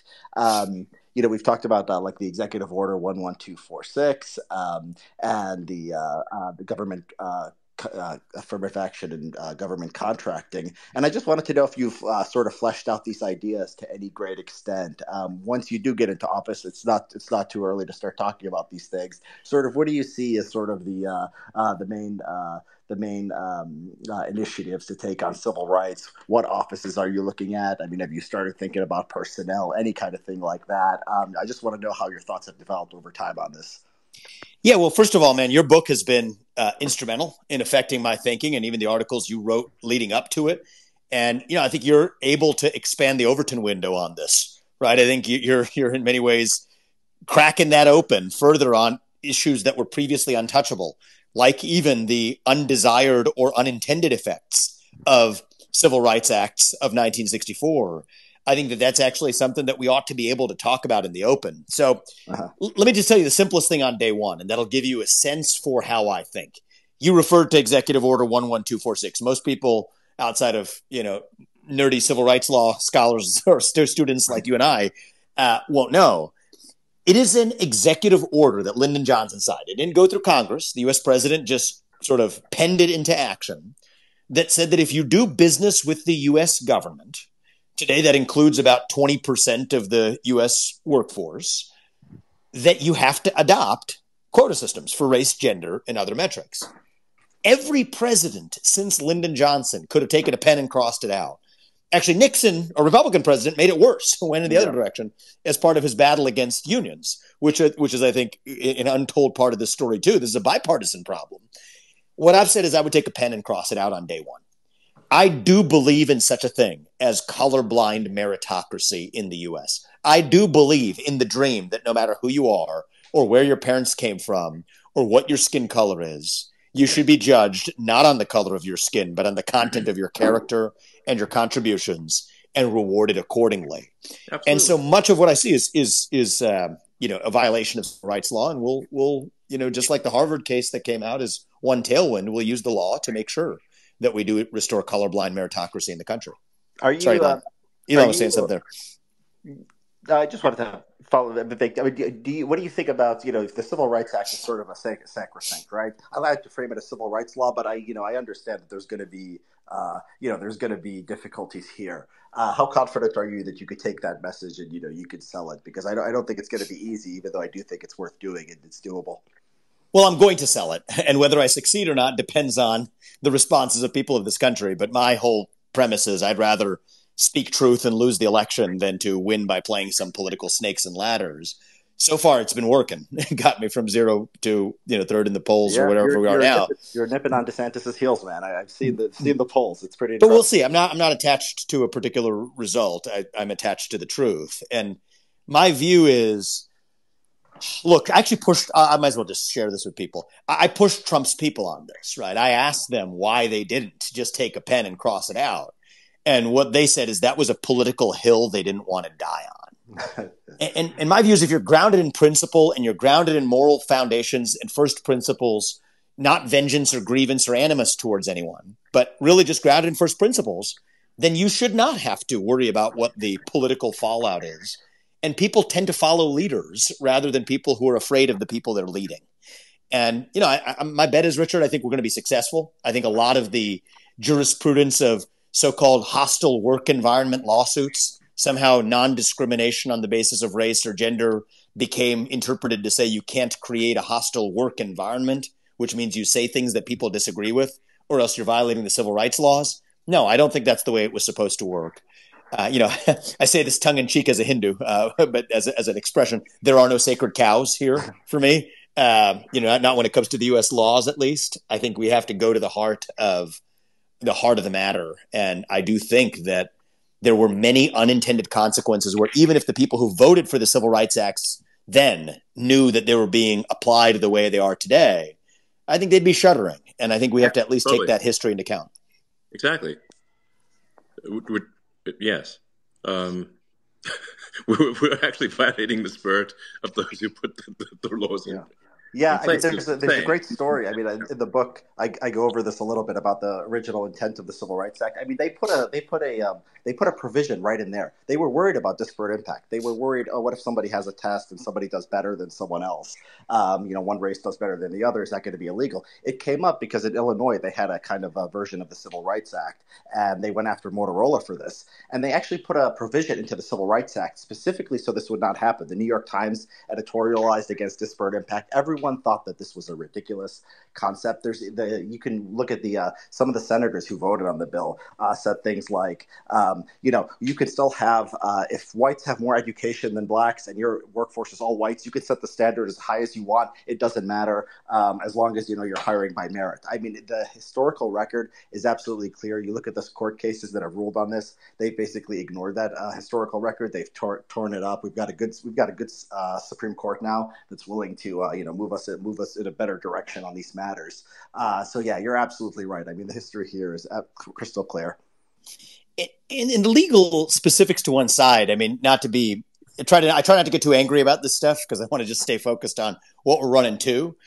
You know, it's interesting. Even America, right? The word. Not a lot of people know this. It was, you know, it's. I, I used to. I, I was on a quest to say, does it have anything to do with merit? it sounds like it. Merit, America. And, and, it turns out merit comes from a Latin root, and America comes from you know Amerigo Vespucci, who was named after his grandfather, whose name was Amalric. okay. Amalric is an old Gothic word. Uh, Rick means master, and Amal means work. Okay. So it's like sort of the master of work. That is almost okay, America's well, heritage. That's kind of cool. Namesake. Actually, I, I wasn't aware of that. I actually literally own etymology.com, and I wasn't aware of that etymology. So you I, own etymology.com. Yeah. Wow. Well, would you be willing to sell it, Elon? I don't know. We can. Um, we can... Yeah. If, if, somebody wants to really go hardcore on etymology, yes. that's good. But anyway, it's it's it's a good reminder that that's who we are as Americans. Get ahead through hard work, colorblind meritocracy. Yeah. It's exactly. who we are. Hundred percent. Yeah. All right. Let me try. So I've just been calling on people who I recognize who have interesting, you know, X accounts. So uh, why don't we go to Omid next, and then we'll hear from Mario, Ian, ALX, and me. Yeah, thanks, guys. Thanks, David. Thanks, Elon, uh, for doing this again. Awesome stuff. Vivek, how you been, man? Good to talk to you. Hey, good man.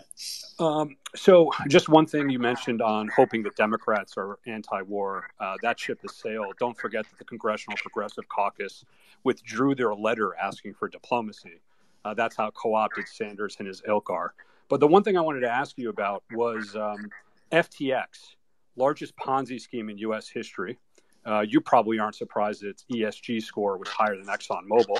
uh, but Sam Bankman Fried donated over $100 million to Democratic linked uh, causes. And yesterday, the Department of Justice announced that it was uh, withdrawing all campaign finance related charges against him. Um, what will you do uh, as president to address the weaponization uh, of the Department of Justice to stop things like this uh, and the fiasco that is Hunter Biden uh, from happening ever again. Well, well, I, do think, Omid, that you know what good is an insurance policy if it doesn't uh, pay out? You know, it's uh, so so. Uh, the problem with SBF's problem is going to be he didn't buy the Cadillac plan because I think he he actually committed some like ungodly sum of money he was going to give, and then he only gave a fraction of it. And so I think they're going to ultimately make sure that he gets punished for not buying the full Cadillac policy, uh, because had he bought the full Cadillac policy, he'd already be off the hook. But for the partial policy, it paid out to let go the campaign finance charges. Uh, so, yeah, obviously cynical and only and only half joking here. But the, the real so so I actually want to take this chance to go into a proposal I've made that a lot of people view as extreme. But then the more you learn about it, the less extreme it actually is. It's actually very practical, All which right. is I think we need to shut down the FBI. Oh, actually. Oh, okay. like take the FBI. Just, just stay with me for a sec. Stay with, stay with me okay. for a sec. Okay. And I Elon, mean, you, are a reader, right? So I'm going to recommend a book to you. It, my wife's my wife's a faster reader than me. She's sure. ahead of me on it, but it's called G Man. It's a Pulitzer Prize winning book. It's about the history of this institution and J. Edgar Hoover and yeah. the way in which the institution was built. And it's fascinating, but yeah, the, the, it issues. Uh, the, it had issues. Yeah, yeah, it, issues. yeah. it had some issues. It's yeah. still the J. Edgar Hoover building of the FBI. So it's still an institution sure. that celebrates his legacy. But as a practical matter, right, at the local level, you have local police and you've got local prosecutors. You don't have this separate giant bureaucratic morass sitting in between. Okay. Well, it turns out at the federal level, you have institutions like the U.S. Marshals, which have, I think, by and large, I have no evidence to suggest has been corrupted at all. They carry, they bust up child sex trafficking rings. They've done a lot of good work. Yeah. You got the DEA on the drug okay. cases, financial crimes enforcement network of the Treasury. So if you take that FBI, right, there's 35,000 people who work there. 20,000 of them are in back office functions, but are really have taken on a policy making role, right? It's not like they're enforcing the law. They're kind of deciding what the policy ought to be. I'm going to send them packing and they got to find honest work in the private sector or, or, or whatever they'd like to do, but it's not going to be working for the taxpayer. But the 15,000 people who are actually on the front lines, we'll move them to the U.S. Marshals, to the DEA, and so on. Okay. And then you actually have drained the lifeblood out of a bureaucracy where, to bring it back to Omid's question, where a lot of the original sin in the weaponization of government in these cases, not just today, I mean, dating back to threatening Martin Luther King with suicide, blackmailing him, it, it's an institution that was built when you have a redundant bureaucracy, it's almost like a law of physics. Okay. A, a redundant bureaucracy is a formula for corruption. So, so you know, um, it's less I, extreme I, than it sounds. Yeah, I mean, I, and just just by the way, for the record, I, I've met a lot of people at, at the CIA and, and FBI, and and they've all been really high integrity people. I just want to be, you know, like I'm I'm not saying that there aren't some bad apples in any organization, but man, I I I really I've not I've not really met a bad person. Uh, and I think the fifteen thousand. I mean, so so when I say shut it down, that doesn't mean that that everyone's a bad person. Yeah, it doesn't yeah. mean any of them are a bad person. It's something yeah. about the nature of a redundant bureaucracy, where, like Elon, I think what one thing that's happened is specialization. Right? We, we, when people are specialized, they tend to be more effective. When they become generalists, maybe less so. At least in government, I think. And yeah. those fifteen thousand, if we move them to their specialized functions, you know, I think that actually becomes a more practical way of effectuating the laws rather than the sort of armchair I mean, manner I, they I do mean, today. You're, you're, saying basically that, that, that all the bases are covered by other organizations, and right. so we distribute the personnel to those organizations rather than have the redundancy uh, that that exists today. But but you're confident that if we did so, that there would not be gaps uh, in, in, in you know in, in important crimes that need to be dealt with. And not only would there not be gaps, we would actually be more effective. That's what you're saying. I, yeah, I'm, yeah, yeah, yeah, I'm, yeah. that, I'm, I'm, I'm, just phrasing. Is that is that what you're saying? Yes, yes, okay, yes. Okay, yeah. that, that's okay. exactly right. Okay. Yeah, Vivek, okay. Uh, I, I want to go back, um, David. If you don't mind, I'll, I'll, ask my question. And, and good to see you again. Go, go, for it. Good to see you again, Vivek. Appreciate the invite. Um, you said something when we were talking about the Ukraine war about the U.S. made the war worse, and and you know we've had discussions in previous spaces about the establishment or the military-industrial complex. I'm relatively naive, less naive after what I saw happen in Ukraine. But if you do become president, is there anything you can do? Because it does seem systemic to me, and and how big of a risk is it when it comes to the tensions with China, which we've been uh, pretty concerned about? Yeah, so look, I think that the managerial class at the Pentagon, it's time to go. I think that this is a antiquated group where, you know, kind of like the analogy we just had about the FBI. Most people, I haven't met somebody who has served or serves currently in the U.S. military that isn't in it, whose heart is in it for the right reasons. Yeah, but I think that's just it's just the truth, yeah, yeah. right? Any any of us, 1.3 million of them. Yeah. But there's the managerial class at the Pentagon where they haven't offered a clear statement of mission and purpose. And so when you have a vacuum of mission and purpose, right? I think the purpose of the US military should be to deter wars and win wars in order of priority, deter wars being most important and then win them when we get into them. And most importantly, prioritize protecting the lives of Americans on American soil. With that clear mission statement, we could measure up what we have done in Iraq or now in Ukraine, which I think is destined to be in Iraq or a Vietnam all over again if we keep going in the current direction. That's part of what we need is a restoration of purpose. And so it's not that these are bad people as individuals, but when an institution continues to exist without a purpose, then the institution finds new things to do that outlive its purpose. And that itself creates a form of corruption that maybe no one individual is actually responsible for, but was just a nature, a feature of the beast itself. And so one of the things I would say is that's a tiny fraction of the people who serve in the U.S. military that actually work in the Pentagon. But I'm going to, you know, largely be cleaning house there and bringing in, you know, a new form of talent, really flushing the toilet on the neocon sort of dogma that I think pervades much of the Pentagon today, and to come back to, let's just say, get some Cold War realists in there. You know, the George Kennans, the James Bakers, that doesn't really exist in today's foreign policy establishment or military establishment. And those would be the kinds of talents. And by the way, we are working on identifying the kinds of talents we're going to staff the top layers of every part of the federal government with. But that would give you a flavor of the kinds of people I would put as a new sort of leadership at the Pentagon. And the job of the commander in chief, that'd be my job if I'm elected, is to offer a clear statement of mission and purpose of what the US military is even supposed to be concerned about, which for me is protecting American lives, foremost on American soil, deter wars, and when necessary, win wars. And that's it. And whether you care about what we're doing in Ukraine or the rise of wokeism in the military, these are symptoms of that deeper loss of purpose, in my view. Yeah. You're here. Agreed. Yeah, I think one of Trump's biggest mistakes was hiring all these neocons. I don't really get it because his instincts were to keep us out of wars. In fact, he did keep us out of wars, new wars and um, you know I think he had more realist and non-interventionist instincts, but yet he appointed all these people like Bolton and Pompeo and on and on who want to get us involved in all these you know new conflicts.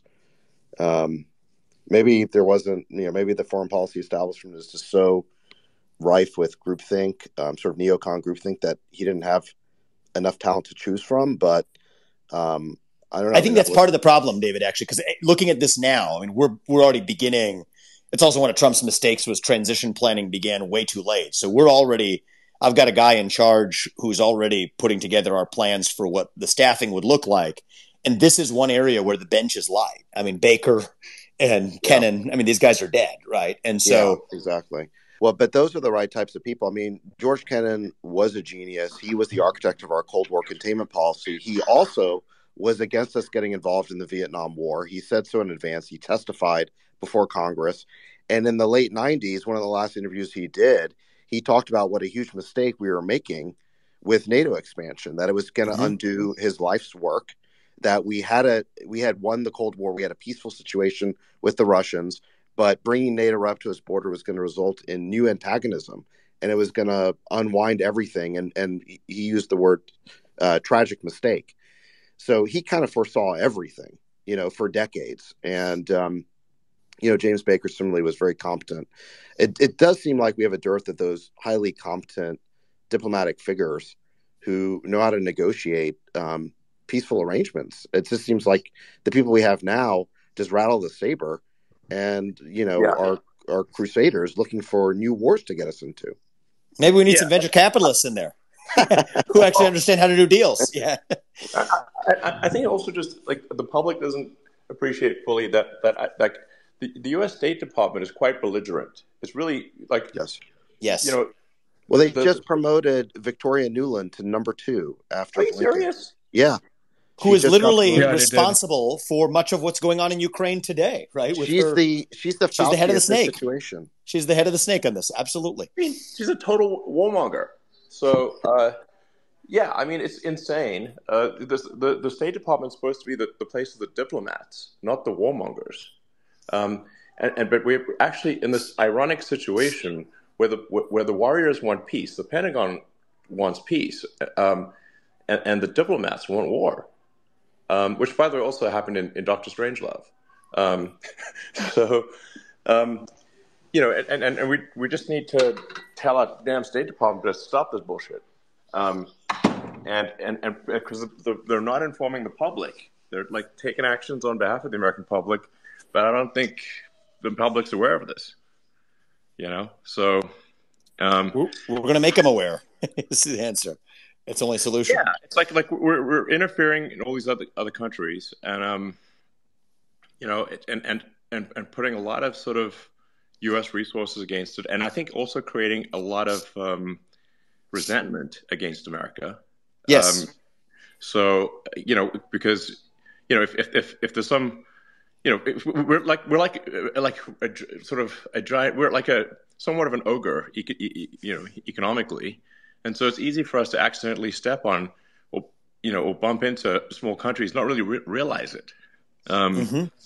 And so then we're like if, doing bad things, and and um, people are dying, and, and we're generating bad blood, and this is all happening without the knowledge of the public.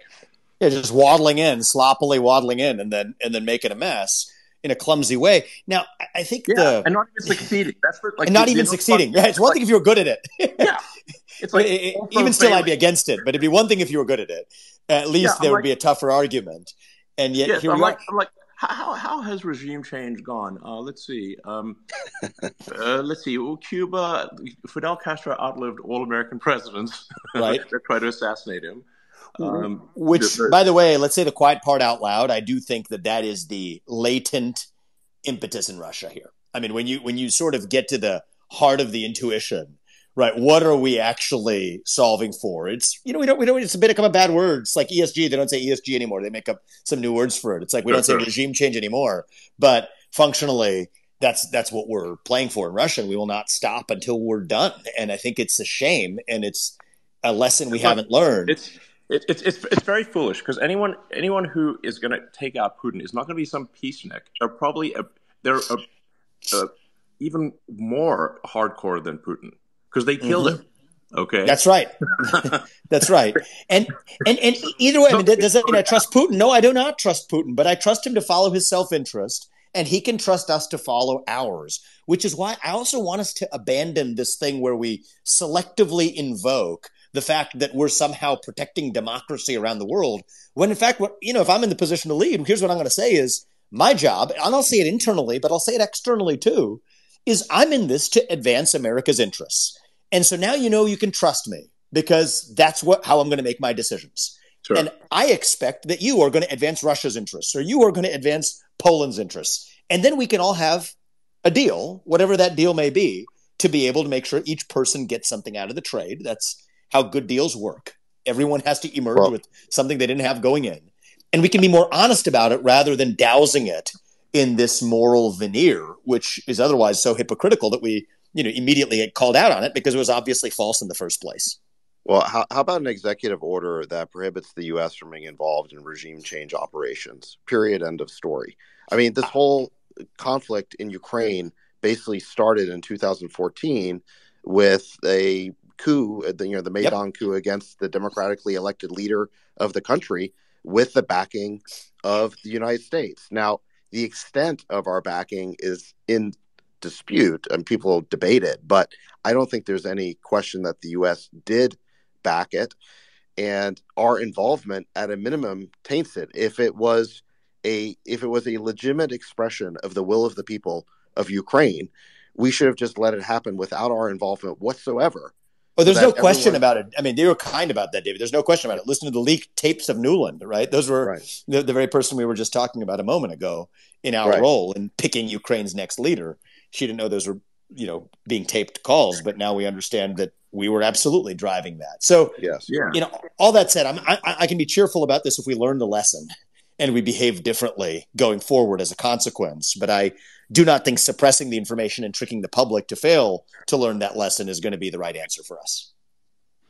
No, exactly. Um, and I can think like so on the Ukraine front, our larger concern should just be when all said and done, like you know where the where are the boundaries going to be and, and how many people died. And I think we should just just think think hard about that and and um, and and not sacrifice the flower of Ukrainian youth.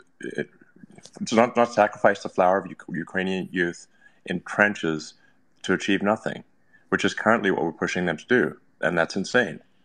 Um, so, and that that needs to stop. Yeah, yeah.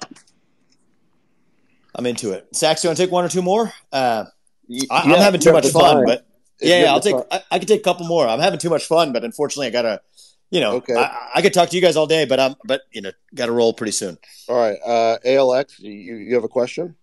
Yeah. Um, so you mentioned that uh, if you became president, that you would release like a similar style Twitter files uh, or Facebook files type thing, but you'd do it for um, all companies that the government has interacted with and sort of tried to pressure. How would that uh, How would that look like? Yeah, so basically, a lot of what I think is happening today is the government is deputizing private companies to do through the back door what the government couldn't directly do through the front door, right? So Elon releasing the Twitter files confirmed what I, you know, on the page of the Wall Street Journal a couple years ago surmised and everyone dismissed as a conspiracy theory that absolutely this was happening and at a scale unimaginable with social media companies you responding to government threats and in some cases inducements, carrots and sticks, to censor speech that the government could not censor directly. I mean, even down to individuals like by name, Alex Berenson. Why didn't you shut down his Twitter account? This individual in a meeting in the White House. Mm-hmm. Well, it, it, it, it's just, it's just, this is, if the First Amendment was created to do one thing, like literally there's just one thing the First Amendment exists for, it is to protect people to be able to criticize the government and its policies. That's what this guy's high crime was, is he criticized government policies on COVID-19. And then the government is saying, no, this guy needs to be shut down. How could you possibly?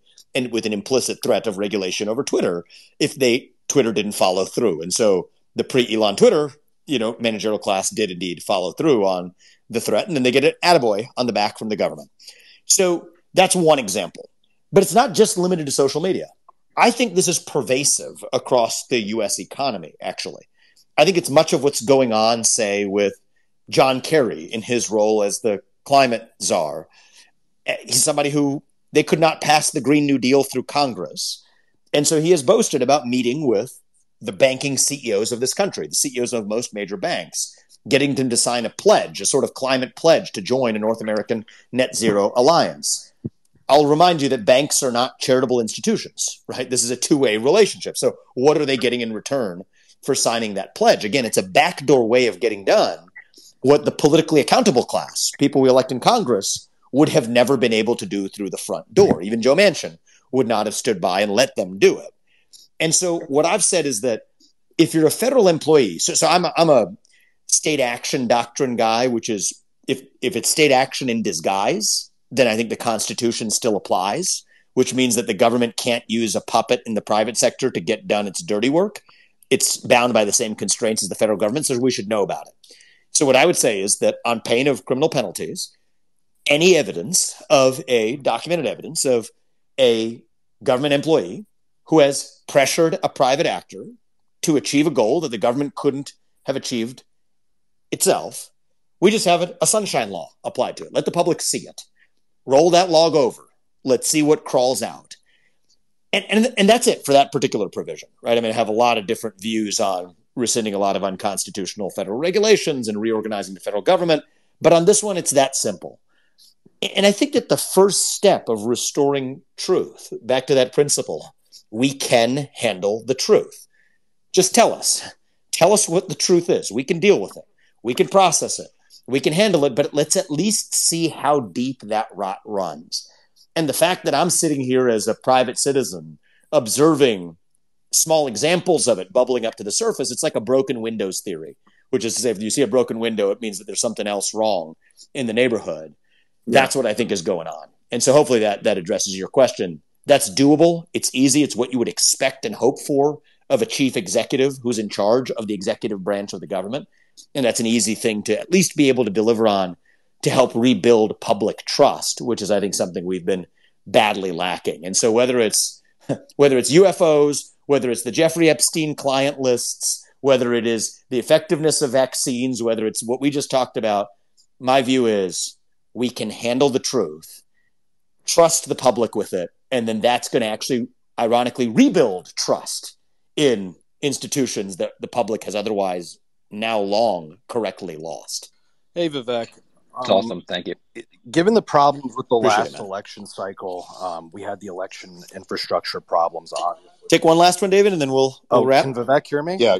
Or... Yeah, I'd love to go uh, to ask Hello? a question. If, uh, well, we have we have Ian and Ian and Nuance, yeah. bro. How about how about maybe we'll take them together? Can we, we'll take them together. American yeah. go we'll first. Take them together. Is that possible? Oh, come on. That's awesome. so, um, so, so Vivek, obviously there were problems with election infrastructure during the last election cycle, but I think one of the nuance. Oh, Ian? I, I don't think nuance. You go first, uh, and then Ian. Oh, that's it, think, David. Uh, you can hear nuance. Yeah, so I'll just yeah. I don't think question. Vivek can hear me. So, Yeah. So hey, Elon, uh, David, Vivek, great conversation. Thanks for having me up. I think the uh, audience is really enjoying this whole back and forth. It's a, uh, I feel it's a real breath of fresh air to have such an open conversation on X Spaces.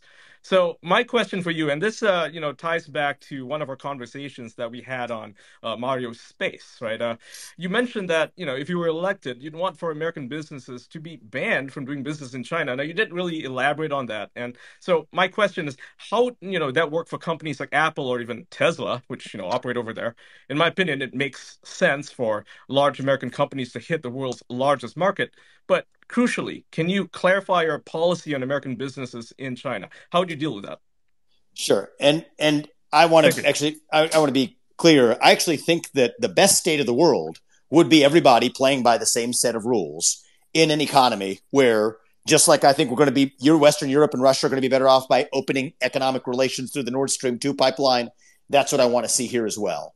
But we've got to make sure that everybody's actually playing by the same set of rules. And to me, it's very important that no more forced IP transfers, no more forced data transfers, no more forced, you know, effectively service of non economic nature, turning companies into lobbying pawns, you know, effectively having a nice little condition to be able to get a domestic license to do business if you're BlackRock selling mutual funds in China to make sure that you don't apply the same standards to Chinese companies as you apply to American ones.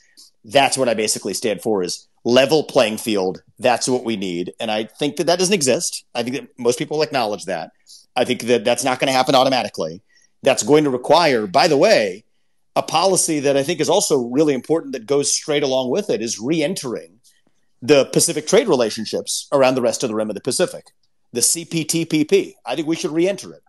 I, I think this is a little bit different than what you know, the, the, course of action taken by Trump in exiting the TPP. I think that was actually maybe, maybe a poor one decision. That makes more sense for the people over here, right? Because I think uh, Trump canceled it because, first of all, it wasn't fair to Americans, right? It really yep. wasn't. But also, exactly. wasn't fair to people over here. It was it was beneficial to corporations, but not to the you know local farmers, your, your mom and pop stores who and would have completely been obliterated by the TPP. So maybe a, a fair version of that would make exactly. And, and I think that, I think that this, I'm a silver lining guy. I think that I can use the leverage of the fact that we did exit it to be able to say, all right, here's what we need done differently in a number of the countries from Japan on down to be able to say, here's how we re enter that on fairer terms. And so that's what I'd like to see. And I think that's one of the things early on, actually, even in relation, forgetting about where we get to on China, the first thing that's easiest to do is actually to re enter the rest of that Pacific trade relationship, including the other members of the CPTPP. That puts us in then a strong position from a trade perspective to then take a look at where we stand vis-a-vis China. So I, I could go on for hours on this one, and and uh, you know we could, but I want to we'll take one last question like from the other guy, and we'll wrap. Have. Yeah, I'd love yes, to sir. grill you on China. You know, because you mentioned once that you were banned from it, China, and that's a concern of mine because you know, I criticize them quite a bit, and I'm always worried about you know uh, traveling through Hong Kong. I mean, have they given you a reason well, hey, why they banned hey, you? But just in the in just in the interest of time, um, I just want to make sure we can get to uh, the last question here. I know oh, yeah. I've been waiting for. Yeah, no, while, that was so. the last question. That was literally so, yeah. Cool, awesome. Yeah. Okay, uh, appreciate uh, Vivek, it. you can um, hear me now, right? Awesome, yes. Cool. How you doing, man? Awesome. Um, so election infrastructure was obviously like a big issue in the last election cycle, but I think even more so uh, is election just funding for candidates, right? So the left was outraising the right pretty significantly in a lot of races. Um, what do you plan to do in the upcoming election, both in the primary and the general, if you are nominated? Uh, you know, so you can outraise people like Soros, who in the last election cycle, I mean, 170 million, he was the top person out of any individual, and then in, including on top of the 170 million, 140 million and other things, uh, another 60 million. His not even getting into open society foundations that did about a billion dollars uh, during that time. Uh, do you think the richest man in the world should get involved to maybe, uh, you know, take over Soros in that position? I don't know if Elon has any thoughts about that, but what are your thoughts on that? How are you going to, you know, beat the left at their own game? Well, so, uh, that's that's. Oh, sorry, I'm not going to speak on behalf of Elon. Elon, you want to go first? uh, well, sure, sure. Uh, and um, you know, I think this is an important discussion. And, and Vivek, I think you're winning over a lot of people. I should say. I think with your position, because I think you know what I've heard you say uh, makes makes ton of sense. Uh, like, I, anyway, I, I like. I think I think this I think you're winning over a lot of people actually in, in this in this uh, this conversation. Thank um, you, So, um, you know, uh, yeah. So, my, my apologies. I, I, actually lost track of. no, I mean, he was just asking about the influence of money in politics. Oh, and, yeah, yeah, and, yeah. uh, yeah. you Oh, know, basically, is is is is the sort of there are a bunch of things which have these these uh, misnomers of like that sound like they're pro democracy, but they're actually basically ballot harvesting. Um, and th- there is like this crazy, this this sort of hack that uh, you know. I mean, George Soros is really an, like an incredibly talented uh, arbitrager, and he's uh, you know he's that applied that talent monetarily and politically, um, and so uh, he's you know he figured out that oh through uh, charitable organizations uh, you can you can promote causes with pre-tax money, um, and and that doesn't count in any of the political stuff. So it's actually extremely effective. You don't actually attack the candidate; you just attack their the positions that they hold, um, and then uh, and then you, you, you sort of hire a big team to go and like harvest ballots from like nursing homes and all that sort of stuff. These are real things that have happened, um, uh, and so you know there's you know what like I, I don't I don't think we should like you know counter corruption with corruption, um, but. Mm-hmm but but I, you know, I think I think we do need to. Uh, there does need to be like a get out the vote campaign and uh, you know, uh, yeah, um, yeah. I mean, just, certainly Republicans need to work harder um, at, at, at winning at winning winning over voters, um, and, and, especially in, in the, the, the, key sort of Senate races and, and House races and, and presidency. Uh, but it's it's um, you know. Uh, You know, and I appreciate you saying that, Elon. And for me, you know, the real distinction isn't even between Republicans and Democrats. If we're pro-American, we stand for the same, stand for the principles this nation was founded on. The way I look at it is we're on the same team. And for me, in this journey, this is, I think, part of why I came into this as an outsider. I think it's will take some measure of people who didn't grow up in professional politics to change that game. This country has blessed me with much, right? And so I've lived – like so many of you on this call, live the full American dream. And I have so far, before I wanted to ask anybody else to invest money in this campaign, wanted to invest my own first. And so I've put in over $15 million of my hard earned money already, precisely because I did not want to take a tin can asking a bunch of other people for permission to run. And then that does come with expectations. And the funny thing is, you know, even in the Democrat Party, many people on a principled basis used to say, keep mega money out of politics. You don't hear that anymore. And that does come with certain ties and expectations that I do think corrupt the way our democratic process works. That being said, yeah. you know, a guy like me, if I want to succeed, has to be able to compete. It's an old well, saying yeah. in tennis, you know, you got to you either win or you leave blood on the court. And I don't want to leave blood on the court. I want to win. And you know, if if if you guys, you know, I think I mean this is just a little bit self-interested plug to be honest with you, but just to be totally transparent as well you know, other candidates have mega super PACs that have ads on television. We're a third in the Republican primary. We haven't bought TV ads, but it's going to be whoever wins this election. It's going to be about two billion dollars that gets spent in order to do it. But, but and that, so that was that was my question. That's sort of the how gist. Are you, yep. How are you going to do it? That was basically my question. So, so here's so, so so I hope we do it. But the way I, here's how I'm not going to do it. I'm not going to do it by turning into somebody's puppet. I'd rather lose this election than to than to you know, bow down to, I think, a lot of the special interests that have broken the system. That being said, here's how we're doing it so far. We got 70,000 small dollar donors in the first few months of this campaign. I'm literally an outside, I've never had a donor or donor list in my life. And 40,000 was the threshold for reaching the first Republican debate by August. Sitting in early July, we're at 70,000. And so 40% of them are first time ever donors to the Republican Party.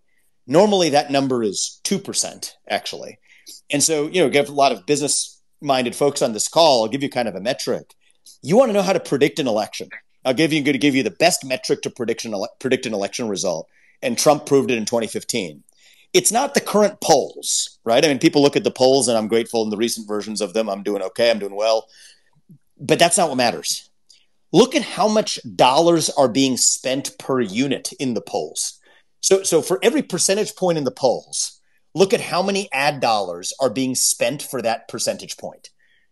for, for most candidates in the 2015 election, Jeb Bush, yeah, you want to talk about Scott Walker, Chris Christie back then, millions of dollars per percentage point in the polls. For Donald Trump back then, it was thousands, three orders of magnitude lower. And in this race, we're seeing the same thing. There's uh, the other candidates in the Republican field, millions of dollars in ad buys per percentage point in the polls. In my case right now is literally in the thousands. And so what do we say there? The message is lifting us up. Now the bet is we hope that if you build it, they will come. But that's where I need people. And so the, the maximum anybody else can give to the campaign directly is six to six hundred bucks. And if somebody wants to go to vivek2024.com right now and do it, we would appreciate it. But there's all kinds of, you know, I mean, there's, there's, the game is so complicated. There's all kinds of other organizations that get, that spend money supporting candidates. And my model is, you know, we, we will build it, which is to say, deliver a clear message that is honest, that is transparent, that trusts the public, believes the public can handle the truth, that wants to restore the 1776 principles that made this country great without apologizing for it, do it earnestly, do it sincerely, and bet that the system works as it's supposed to. And, and at least gratefully, I'm able to put in, you know, I mean, I don't have billions of dollars to put in, but short of that, what I do have will stop at nothing, which gives us a good advantage to start. But it's going to take a lot of really everybody, whether it's a dollar or whether it's people putting in massive amounts of money to actually lift this across the finish line. And so I'm hoping for a, a, a chance to introduce myself to the country on the debate stage starting in a few weeks. I think that's going to be critical in this race. I'm going to continue to use, frankly, forums like this one. I mean, this is great. Think about it. There's no separate media intermediating our messages, right? Exactly. There's nothing, nothing pre-filtered. A guy like me couldn't compete, Elon, if it weren't for modern media like this. And so, here's no, to hoping I mean, that that changes the game. Yeah, no, I mean it, it, says something like you can you can actually uh, you know you're quick on your feet and you can you can handle a, a, a rapid fire conversation on difficult subjects. Um, that, I mean that you know couldn't be said for everyone. Um, and and uh, and you actually speak you know you speak with conviction and and and you're not just you know playing the old same old political tapes and uh, that everyone's and the tropes that everyone's heard a million times and, and are obviously unconvincing um, so I think that actually this is, uh, you know, you know, I, I certainly have a, high opinion of you after this this this conversation, and, and I, I, suspect a lot of people, other people do too. I appreciate that, man, and and you know, I think I'll just say this in closing because I hope it's good for our country. And you know, you and I or anybody else on this call, we're not going to agree on hundred percent of things, and that's okay, right? Yeah, you know, yeah, and that, you know, you and I will. I mean, me and Sacks don't agree on 100 percent of things, and and you know, you and Sacks don't agree on 100 percent of things, and so for every other combination of people on this call, but you know, if, let's say you agree with me most of the time, but you yeah. at least know I'm telling you what I believe 100 percent of the time. That's that's the best you can ask of an elected leader, and I'll at least give you that, and that's going to be hopefully something that attracts enough support, yes, to allow me to serve as the next president of this country and you know lead a lead a national revival leaving office in january 2033 my kids will be in high school maybe we'll move on to maybe we'll be going to mars by then but you know in the meantime we'll see if we can revive this country and and i'm optimistic that we can well it's rare it's, it's rare it's, it's rare to meet a politician that, that that's not an npc and so uh, i would uh, Please take that as a high compliment. I appreciate it, brother. Thank you. Thank All you. right. Well, thank you both for for being so generous with your time. We almost went for two hours here. I think it was only scheduled to be an hour, and we just you know time went flying by. So thank you, Elon. Thank you, Vivek, and thanks everyone for joining. See you. I appreciate it. Thanks, guys. Thanks, thanks David. Bye. Thank you, guys. Thank you. Thank you.